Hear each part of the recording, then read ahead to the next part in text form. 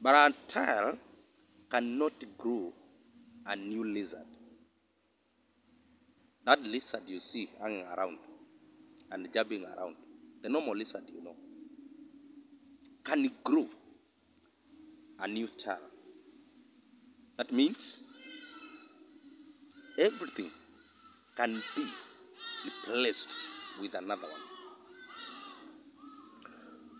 Niseme hivi, katika maisha, katika jamii, katika kazi, inafika time unaona kwamba those people they can't do, they can't live, they can't prosper without you, my friend.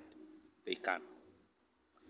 That family can prosper without you.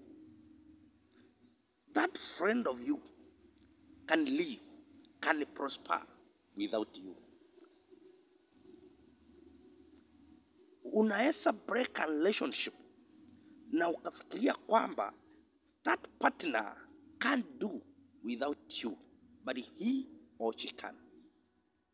Anaweza akaendelea bila wewe, anaweza akagrow akamashua na akaendelea bila wewe. Hiyo familia unapoondoka, unaweza ukaondoka na wakakuzika na wakasahau na wakaendelea bila wewe.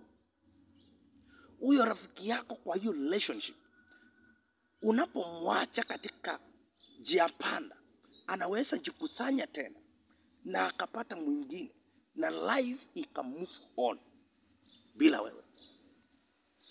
Kwa hiyo company unaona ni kama hawaendelei, hawawezi endelea bila wewe. Unaona nafasi yako haiwezi ikanjazwa ikakuwa replaced by another somebody. Wanaweza wakaendelea. A company can grow without you. Maisha yoyote unayofanya in that ministry, in that church you serve, they can serve another somebody.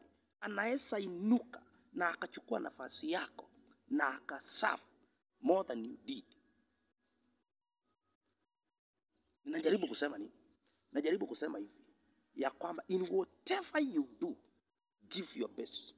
In whatever position you are given, remember you are given by God to serve it. Give your best.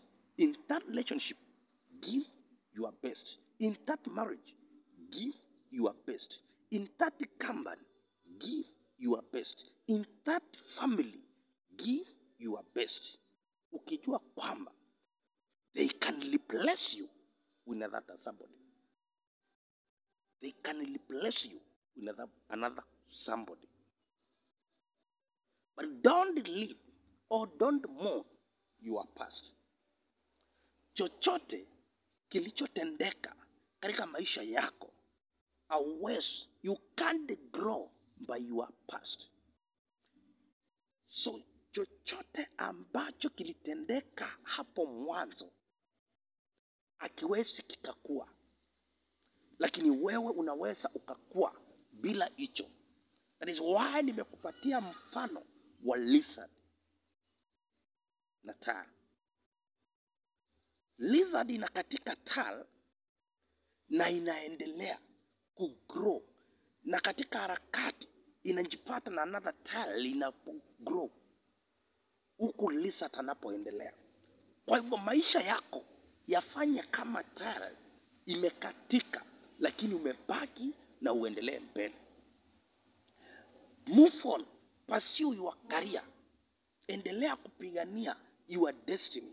Endelea kupigania your marriage. Endelea kupigania your family. Endelea kupigania your position in that company.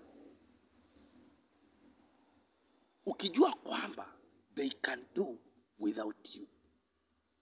So please, in whatever you do, give your best. May God bless you.